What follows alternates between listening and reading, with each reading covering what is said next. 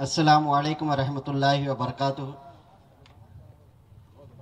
ఈరోజు గుంటూరులో రాష్ట్ర వ్యాప్త నలుమూలల నుంచి పెద్ద ఎత్తున అన్ని రాజకీయ పార్టీ నాయకులు విశ్లేషకులు ప్రసంగికులు అన్ని సంఘాల వాళ్ళు రాజకీయ నాయకులు నూరు భాషా సంఘం వాళ్ళు పెద్ద ఎత్తున విచ్చేసి గుంటూరులో ముస్లిమ్స్ అందరూ ఈ రాష్ట్ర వ్యాప్తంగా అందరూ ఒక్కటేనని తెలియజేయడంలో గుంటూరు పోరాట పురుటు గడ్డగా నిరూపించినటువంటి చరిత్ర ఒక గుంటూరుకే దక్కుతుంది తప్ప చరిత్రలో ఎవరికనే లేదనే విషయాన్ని కూడా స్పష్టంగా తెలియజేస్తూ ఈనాడు ఈ ముస్లిం ఐక్య వేదిక ముఖ్య ఉద్దేశం ఈనాడు ముస్లింస్లు పెద్ద ఎత్తున రాజకీయంగా వెనకబడటమే నిరుపేదటానికి కారణమనే విషయాన్ని కూడా ప్రతి ఒక్కరు గ్రహించాలి.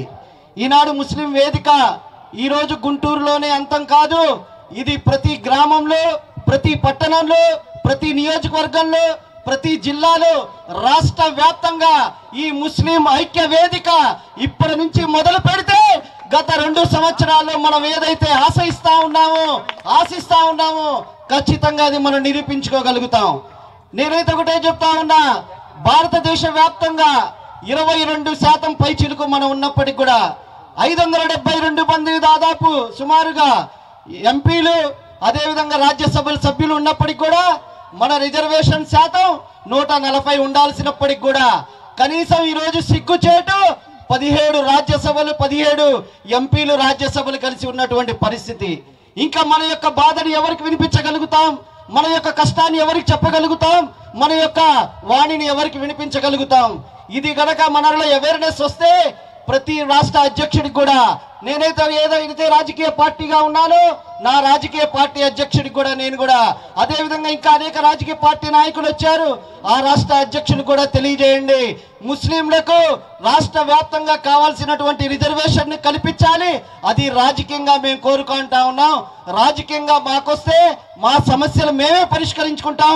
మాకెవరు పరిష్కరించాల్సిన అవసరమే లేదు.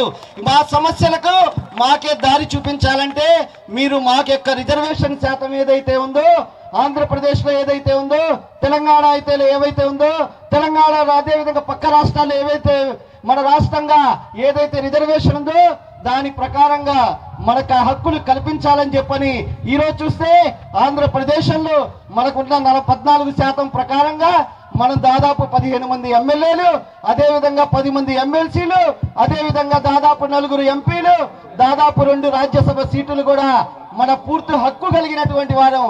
కానీ ఆ హక్కుని ఈరోజు మనం కోల్పోతా ఉన్నామంటే నేను ఇక్కడికి వచ్చిన రాజకీయ పార్టీ ఆ నాయకులకి శాసనసభ్యులకి మాజీ శాసనసభ్యులకి కూడా తెలియజేస్తా ఉన్నా.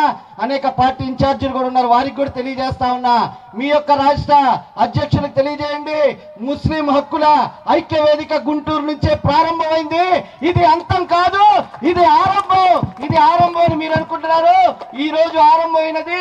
మా హక్కులు కల్పించే వరకు కూడా దీన్ని అంతం చేయమనే విషయాన్ని కూడా తెలియజేస్తూ నేను మీ అందరికి కూడా చివరిగా ఒక్కటే ఒక్క నినాదాన్ని మీ అందరు కూడా ఇక్కడ అనేక మంది ఇంటెలిజెన్స్ వాళ్ళు ఉన్నారు కౌంటర్ ఇంటెలిజెన్స్ వాళ్ళు ఉన్నారు చూస్తా ఉన్నారు ముస్లింస్ అందరూ వీళ్ళు ఏకంగా ఉన్నారా లేదా అని. ఒక్కసారి మీ యొక్క వాక్యాన్ని గట్టిగా అవాజ్ ఇస్తే వారికి కూడా తెలుస్తుంది. హమ్ ఏక్!